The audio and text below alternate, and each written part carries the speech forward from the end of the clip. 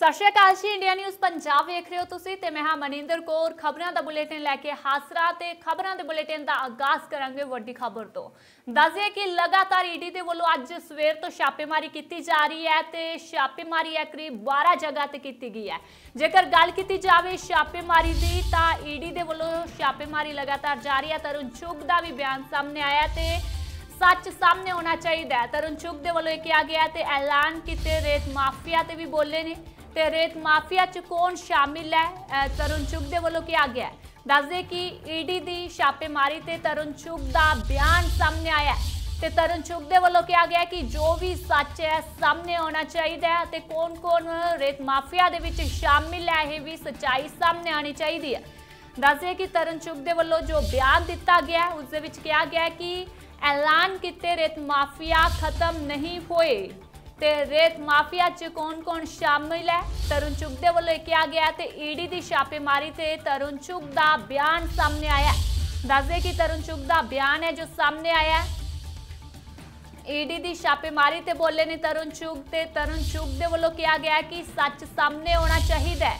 ਤੇ ਇਸ ਦੇ ਨਾਲ ਹੀ ਉਹਨਾਂ ਦੇ ਵੱਲੋਂ ਕਿਹਾ ਗਿਆ ਕਿ ਜੋ ਰੇਤ ਮਾਫੀਆ ਦੇ ਲਈ ਐਲਾਨ ਕੀਤਾ ਗਿਆ ਸੀ, ਉਹ ਹਾਲੇ ਤੱਕ ਕੌਣ-ਕੌਣ ਸ਼ਾਮਿਲ ਹੈ, ਇਸ ਦਾ ਪਰਦਾਫਾਸ਼ ਨਹੀਂ ਹੋਇਆ।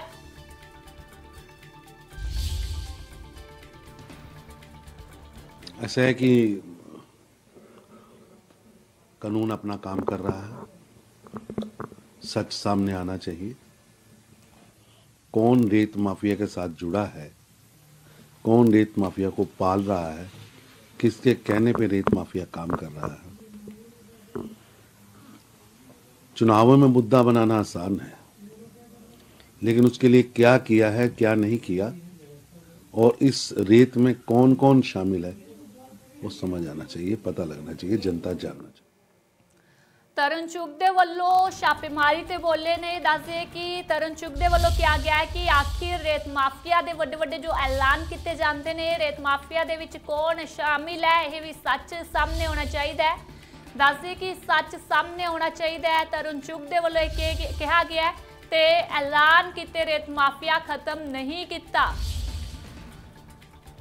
ਦੱਸਦੇ ਕਿ ਰੇਤ ਮਾਫੀਆ ਚ ਕੌਣ-ਕੌਣ ਸ਼ਾਮਿਲ ਹੈ, ਇਹ ਵੀ ਕਿਹਾ ਗਿਆ ਹੈ ਤਰੁਣ ਚੁੱਗ ਦੇ ਵੱਲੋਂ ਤੇ ਈਡੀ ਦੀ ਛਾਪੇਮਾਰੀ ਤੇ ਬੋਲੇ ਨੇ ਤਰੁਣ ਚੁੱਗ ਤੇ ਤਰੁਣ ਚੁੱਗ ਦਾ ਜੋ ਬਿਆਨ ਸਾਹਮਣੇ ਆਇਆ, ਉਸ ਦੇ ਵਿੱਚ ਤਰੁਣ ਚੁੱਗ ਦੇ ਵੱਲੋਂ ਕਿਹਾ ਗਿਆ ਹੈ ਕਿ ਈਡੀ ਦੀ ਜੋ ਕਾਰਵਾਈ ਹੋ ਰਹੀ ਹੈ, ਇਸ ਦੇ ਵਿੱਚ ਸੱਚਾਈ ਹੈ, ਸਾਹਮਣੇ ਆਵੇਗੀ ਤੇ ਸੱਚ ਸਾਹਮਣੇ ਆਉਣਾ ਚਾਹੀਦਾ ਹੈ।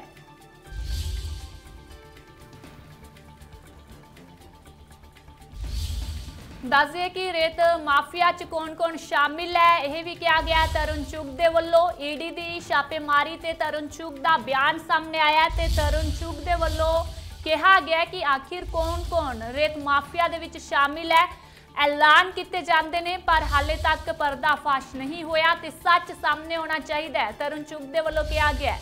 ਦੱਸਦੇ ਕਿ ਐਲਾਨ ਕੀਤੇ ਰੇਤ ਮਾਫੀਆ ਖਤਮ ਨਹੀਂ ਕੀਤਾ। ਤਰੁਣ ਚੁੱਗ ਦੇ ਵੱਲੋਂ ਇਹ ਕਿਹਾ ਗਿਆ ਹੈ ਤੇ ਰੇਤ ਮਾਫੀਆ ਚ ਕੌਣ-ਕੌਣ ਸ਼ਾਮਿਲ ਹੈ, ਇਹ ਵੀ ਸੱਚ ਸਾਹਮਣੇ ਆਉਣਾ ਚਾਹੀਦਾ ਹੈ। ਦੱਸਦੇ ਕਿ ਤਰੁਣ ਚੁੱਗ ਨੇ ਜੋ ਈਡੀ ਦੇ ਵੱਲੋਂ ਜੋ ਸਵੇਰ ਤੋਂ ਹੀ ਛਾਪੇਮਾਰੀ ਕੀਤੀ ਜਾ ਰਹੀ ਹੈ ਤੇ ਛਾਪੇਮਾਰੀ ਤੇ ਬੋਲੇ ਨੇ ਤਰੁਣ ਚੁੱਗ ਤੇ ਤਰੁਣ ਚੁੱਗ ਦੇ ਵੱਲੋਂ ਕਿਹਾ ਗਿਆ ਕਿ ਆਖਿਰ ਰੇਤ ਮਾਫੀਆ ਦੇ ਵਿੱਚ ਕੌਣ-ਕੌਣ ਸ਼ਾਮਿਲ ਹੈ, ਜੋ ਵੀ ਸੱਚ ਹੈ, ਸਾਹਮਣੇ ਆਉਣਾ ਚਾਹੀਦਾ ਹੈ। ਤਰੁਣ ਚੁੱਗ ਦੇ ਵੱਲੋਂ ਇਹ ਕਿਹਾ ਗਿਆ ਹੈ। ਤੇ ਤਰੁਣ ਚੁੱਗ ਨੇ ਕਿਹਾ ਕਿ ਐਲਾਨ ਕੀਤੇ ਰੇਤ ਮਾਫੀਆ ਖਤਮ ਨਹੀਂ ਹੋਏ। ਰੇਤ ਮਾਫੀਆ ਚ ਕੌਣ-ਕੌਣ ਸ਼ਾਮਿਲ ਹੈ? ਤਰੁਣ ਚੁੱਗ ਦੇ ਵੱਲੋਂ ਇਹ ਕਿਹਾ ਗਿਆ ਹੈ ਤੇ ਈਡੀ ਦੀ ਛਾਪੇਮਾਰੀ ਤੇ ਬੋਲੇ ਨੇ ਤਰੁਣ ਚੁੱਗ ਤੇ ਉਹਨਾਂ ਦਾ ਜੋ ਬਿਆਨ ਸਾਹਮਣੇ ਆਇਆ, ਬਿਆਨ ਦੇ ਵਿੱਚ ਤਰੁਣ ਚੁੱਗ ਦੇ ਵੱਲੋਂ ਕਿਹਾ ਗਿਆ ਹੈ ਕਿ ਜੋ ਈਡੀ ਦੇ ਵੱਲੋਂ ਛਾਪੇਮਾਰੀ ਕੀਤੀ ਜਾ ਰਹੀ ਹੈ, ਇਸ ਦੇ ਵਿੱਚ ਪਤਾ ਲੱਗੇਗਾ ਕਿ ਆਖਿਰ ਰੇਤ ਮਾਫੀਆ ਦੇ ਵਿੱਚ ਕੌਣ-ਕੌਣ ਹੈ। ਸੱਚ ਸਾਹਮਣੇ ਆਉਣਾ ਚਾਹੀਦਾ ਹੈ।